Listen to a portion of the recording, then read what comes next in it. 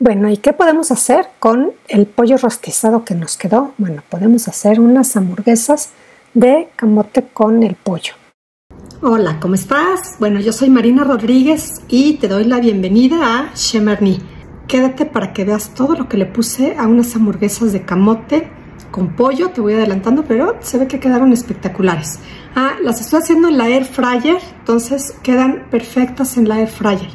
Y eh, bueno, si no te has suscrito, recuerda suscribirte y espero que te guste la receta. Queda muy muy rica, fue un experimento, pero prueba superada, quedó muy rico. Y bueno, pues vamos a ver la preparación, ¿de acuerdo? El primer paso es que vamos a pelar el camote y lo vamos a rallar muy bien. Lo reservamos en un tazón y le agregamos la cebolla picada.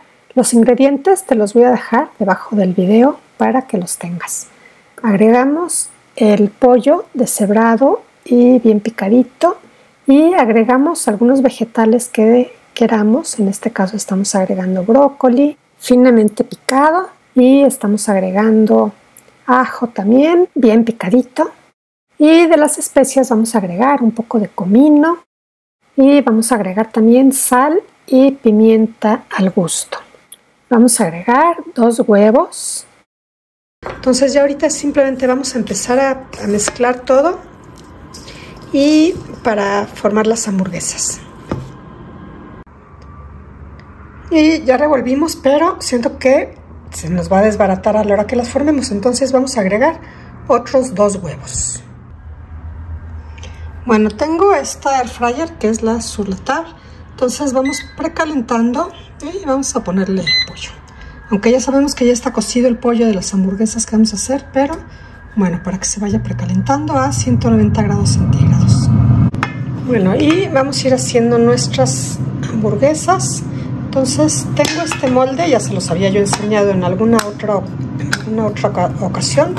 Entonces simplemente le ponemos un plastiquito que es de, hacer de silicón o eh, algo que sabemos que no se va a pegar y ponemos una cantidad de, de nuestra mezcla.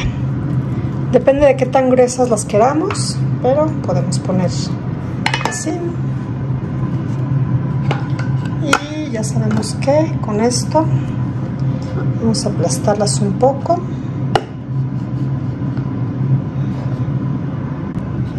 Bueno, ahí ya saben que me encanta este molde porque quedan así súper bien formaditas. Entonces si se dan cuenta queda del grosor que nosotros queramos. Y aquí simplemente vamos a voltear el air fryer. Quitamos esto. Es la ventaja de que sea desmoldable que podemos quitarlo fácilmente. Y de esta manera nos quedan súper súper eh, bien formaditas. Las podríamos hacer también a mano pero pues obviamente eh, pues eh, no van a quedar del mismo tamaño pero entonces, bueno, les voy a dejar el enlace de todos modos. La verdad es que no son caros y pues me encantan. Y ya está precalentado el horno, entonces las podemos ir metiendo. Poner esto acá. Y vamos a meter. Esta es la charolita de abajo para que no escurra y esta la vamos a poner aquí. Y vamos a dejarle pues yo creo que a 180 grados. Vamos a bajarle aquí un poquito la temperatura. Para que se cocinen bien bien por dentro. 180 grados y vamos a verificarlas mientras vamos a terminar de hacer las demás.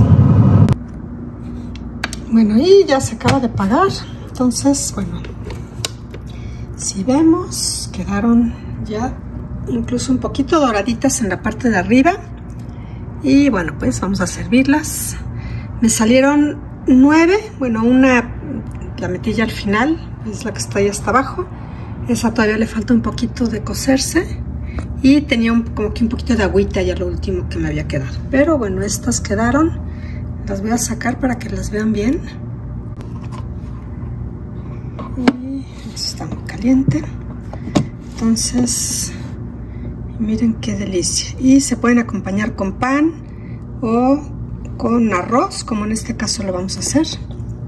Y pues ahorita les cuento cómo quedaron.